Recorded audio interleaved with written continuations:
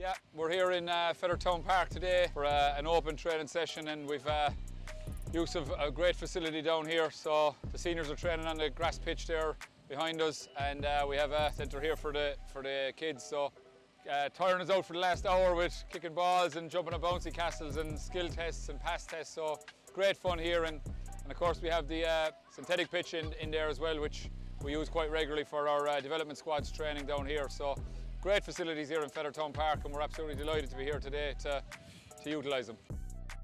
It's great to have a facility like this on their doorstep. Uh, Fethard Rugby Club is uh, just up the road. It's obviously been a, a fantastic club uh, over the last couple of years, building their facilities and then um, I suppose they, they got really lucky when Fethard Town Park um, planning went in and they got, got used to this facility. So hopefully it will encourage uh, a lot of the community here to play more and I suppose hopefully grow the rugby community and we might see more, more players in, um, in the Fethard colours in years to come.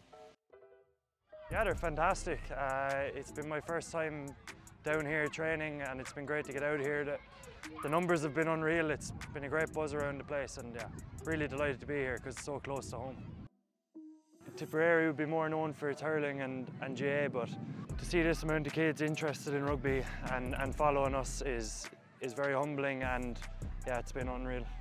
Going to things like this when I was younger anyway definitely encouraged me to pick up rugby ball and, and created a buzz around rugby because it's not, it's not the number one sport here and, and in saying that though, it's, it's an extremely popular sport and people that support Munster are, are very passionate about it, so it's, it's unreal.